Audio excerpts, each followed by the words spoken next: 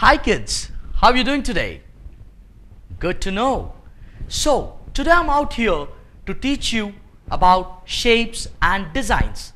Now, coming to the point, a shape is the outer form of an object or a figure such as a circle, rectangle, square or a triangle. Now, there are all kinds of shapes all around us in the sky, in the sea, on the ground and in our homes as well.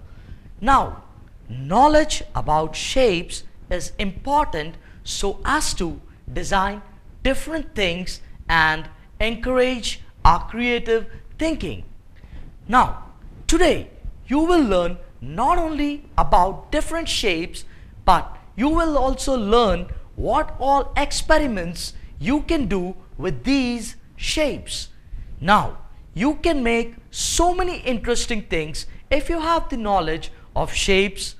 I'm sure all these activities will increase your interest in mathematics.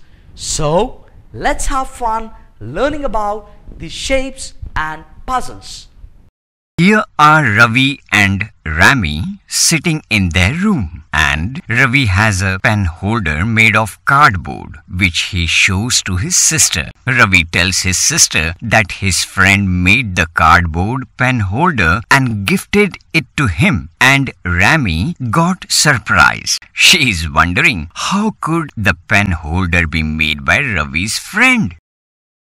Ravi has left the pen holder with his sister and she opens it up. She is curious to know how it has been made.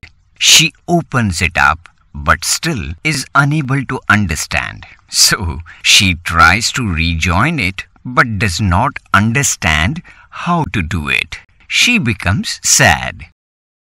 Rami goes to Ravi for help and asks him to rejoin the cardboard piece to make the pen holder again. Ravi looks relaxed. It seems he knows how to do it. Ravi tells her that it is easy and he shall help her to do it. Since the pen holder had no lid, it had five faces, and of which there must be two pairs are alike and one face is different from all. This face that is different from all others must be the base of the pen holder and is thus marked as base.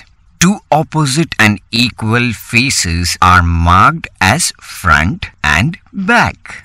And the remaining two opposite and equal faces are marked as side 1 and side 2. He now folds the cardboard and gets the pen holder back, which he pastes with a tape. Ravi makes some more such cutouts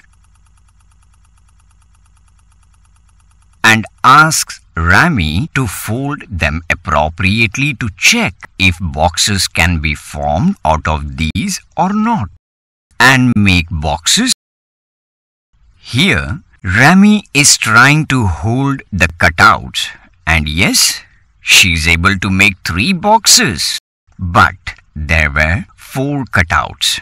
Does that mean Rami could not make a box out of the fourth cutout or was it not possible to make a box out of that? Let us consider the cutout that has been left